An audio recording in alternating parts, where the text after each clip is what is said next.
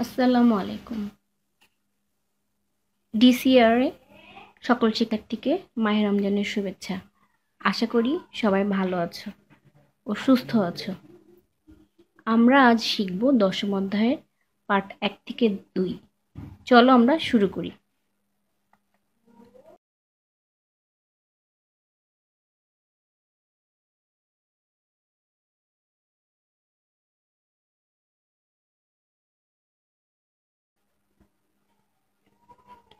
এখানে একটি ছবি দেখতে পাচ্ছ। উপরের ছবিতে একটি বিদ্যালয়ের ছবি। পাশে গাছপালা রয়েছে, ঠিক তার নিচেই রাস্তা। রাস্তাতে গাড়ি চলছে, পথচারী চলছে, সাইকেল আরোহী সাইকেল নিয়ে যাচ্ছে। উপরের দৃশ্য থেকে তোমরা কি বুঝেছ? সবকিছু স্থির। নিচের চিত্রটিতে সবকিছু গতিশীল অবস্থায় রয়েছে। আমরা আজকে পড়ব স্থিতি ও গতি, পার্ট এক। এই পাঠ শেষে তোমরা স্থিতি ও গতি ব্যাখ্যা করতে পারবে, স্থিতি ও গতির মধ্যে পার্থক্য ব্যাখ্যা করতে পারবে। এখানে একটি ছবি দেখা যাচ্ছে। ছবিটিতে ঘড়ি ঘুরছে এবং পাশে আর দুটি ছবি স্থির।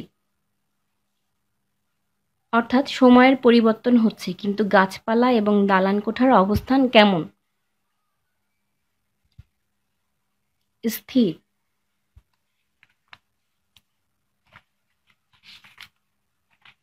অর্থাৎ কোনো বস্তু যদি সময়ের সাথে পর্যবেক্ষকের সাপেক্ষে অবস্থান পরিবর্তন না করে, তাহলে তা স্থির এবং বস্তুর ওই অবস্থাকে বলা হয় স্থিতি।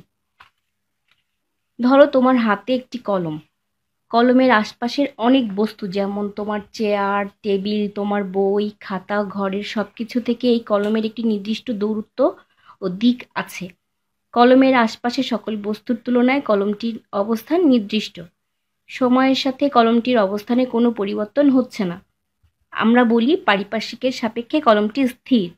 কলমটি স্থির থাকার কারণেই এই ঘটনাটি হচ্ছে স্থিতি। সুতরাং সময়ের সাথে পর্যবেক্ষকের সাপেক্ষে কোনো বস্তুর অবস্থান পরিবর্তন না করা হলো স্থিতি। তোমরা আবারও একটু ভালো করে শোনো। সময়ের সাথে পর্যবেক্ষকের সাপেক্ষে কোনো বস্তুর অবস্থান পরিবর্তন না করা হলো স্থিতি।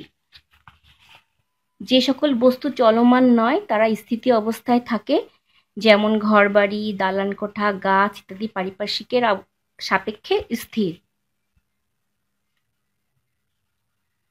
বস্তুর এই অবস্থাকে কি বলা যেতে পারে তাহলে? স্থিতি। সময়ের সাপেক্ষে গাছটির অবস্থান কেমন এবং কেন? এখানে আরেকটি ছবি দেখা যাচ্ছে, গতিশীল ট্রেন এবং ঘূর্ণায়মান ঘড়ি। অর্থাৎ সময়ের পরিবর্তনের সাথে সাথে ট্রেনের অবস্থানের পরিবর্তন হচ্ছে, একে বলা হয় গতিশীল। তাহলে বস্তুর এইভাবে থাকাকে আমরা কি বলতে পারি? গতি। অর্থাৎ সময়ের সাথে পর্যবেক্ষকের সাপেক্ষে কোনো বস্তুর অবস্থান পরিবর্তন করা হলো গতি। যে সকল বস্তু চলমান, তারা গতি অবস্থায় থাকে, যেমন চলমান ট্রেন, চলন্ত বাস ও গাড়ি। চলমান সাইকেল ও রিক্সা প্রভৃতি পারিপার্শ্বিকের সাপেক্ষে গতিশীল। এখন তোমরা অবশ্যই স্থিতি ও গতির মধ্যে পার্থক্য লিখতে পারবে। তোমাদের এখন কিছু প্রশ্ন দিব আমি। তোমরা খাতায় প্রশ্নগুলো তুলবে, প্রশ্নগুলো লিখবে এবং অবশ্যই কমেন্টসে আমাকে জানাবে। প্রশ্ন এক, স্থিতি কি? প্রশ্ন দুই, গতি কি?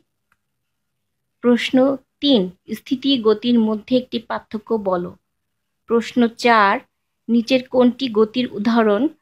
ক স্থির বাস, দুই স্থির ফুটবল, গ গাছ থেকে ফল পড়া, ঘ কোনো ব্যক্তির দাঁড়িয়ে থাকা।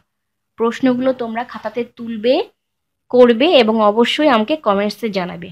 আজ এই পর্যন্তই, ধন্যবাদ। সকলেই ভালো থাকবে।